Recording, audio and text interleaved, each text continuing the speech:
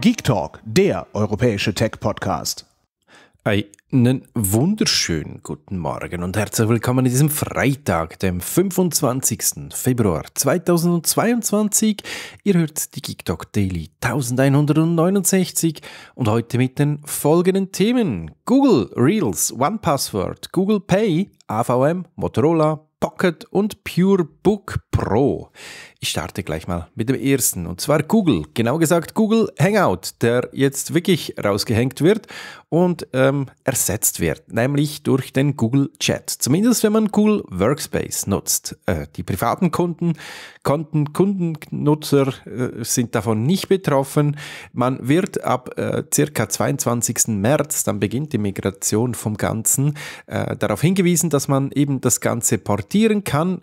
Wichtiger Hinweis, man kann nicht wieder zurückportieren, aber im Laufe der Zeit werden das dann als dringlich erklärt, respektiv es gibt dann sowieso kein Zurück mehr und man dort darf, Schrägstrich, muss in Richtung Google Chat äh, rübergehen. Mal schauen, wie lange dieses Google Chat dann bleiben wird.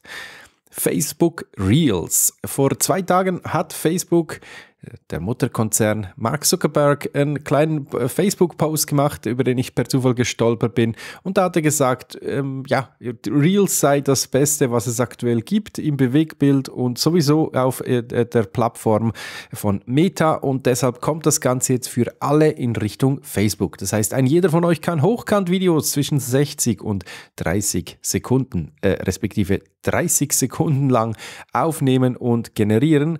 Ein bisschen remixen, ein bisschen rumblödeln, ein bisschen was Gescheites erzählen, was auch immer ihr da tut. Ihr könnt das Ganze jetzt eben, äh, ja, auch tun. Ich freue mich schon auf viel mehr äh, Bewegtbild-Content auf Facebook. Ich bin ja da fast gar nicht mehr drin. Somit äh, tangiert mich das nicht wirklich. Aber solltet ihr das nutzen, lasst es mich gerne wissen. Und wenn ich endlich dann irgendwann mal dazu komme, meine ganzen TikToks zu machen, die ich mal irgendwann wollte, dann werde ich das natürlich auch auf den anderen Plattformen, die hochkant können, ausspielen macht ja Sinn, das möglichst breit zu streuen, wenn man es dann schon tut. Oder auch nicht.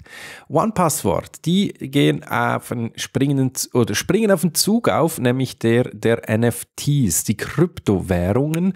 Äh, also besser mit Kryptowährungen kann man ja unter anderem NFTs kaufen, so rums. Und da ähm, gibt äh, immer wieder mal unschöne Geschichten von Sachen, die eben dann verloren gehen oder geklaut werden etc. Ich glaube, wir hatten es gerade vor ein, zwei Tagen mal in der Episode mit drin, wo es eben genau um dieses Thema geht. Deshalb bindet jetzt ähm, OnePassword das Phantom Wallet. Ein Wallet ist ein, äh, ein, Tool, quasi ein Stück Software, das es euch erlaubt, eure ja, Kryptowährungen zu bunkern, so dass eben niemand anders dazukommt. Und das integriert OnePassword jetzt.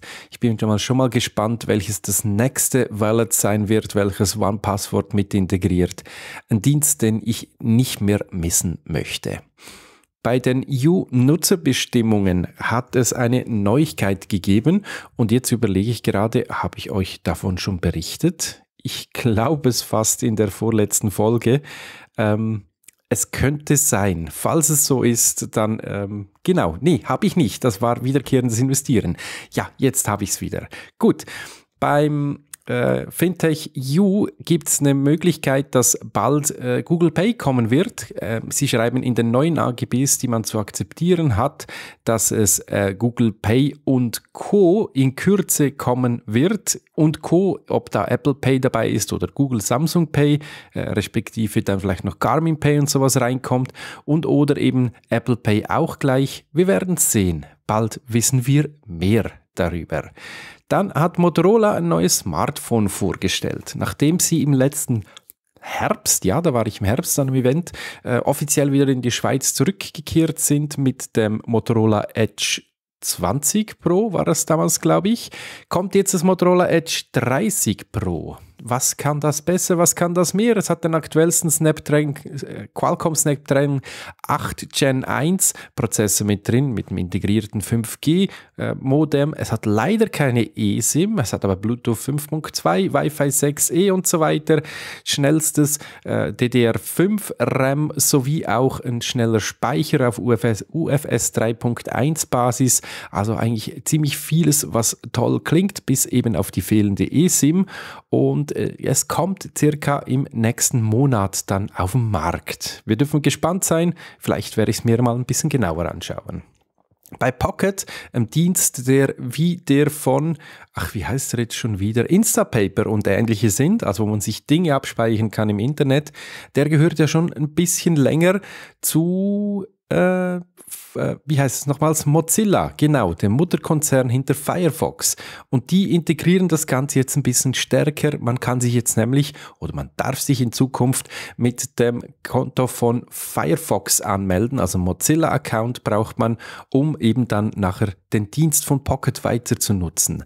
Aktuell kann man das freiwillig tun. Spätestens passiert es am 30. Juni. Somit, wer Pocket nutzt, sollte mal äh, das Ganze zusammen migrieren. Ansonsten äh, neues Konto anlegen und dann migrieren je nachdem, wie ihr das tun möchtet, hat einen großen Vorteil, dass ihr nachher bessere Sicherheit habt und auch eine Two-Factor-Authentification. Also Warum sollte man das nicht tun? Nokia vergibt ja gerne seinen Namen, damit es mehr Produkte unter dessen Dings gibt. Zum einen haben sie ja an HTML Global die äh, Lizenz vergeben, um Smartphones zu basteln. Sie haben auch Fernseher rausgebracht unter eben äh, die Streamview Fernseher. Auch da haben sie Lizenzen verscherbelt und jetzt äh, verscherben sie weitere Lizenzen und zwar eine Firma, die die Nokia PureBook Pro ver, äh, vertreiben wird und basteln wird, logischerweise auch. Was ist das? Das ist ein Laptop. Es ist silbrig, es ist rot, es hat unten Füße, es schaut von vorne aus wie, äh, ja, lassen wir das Thema.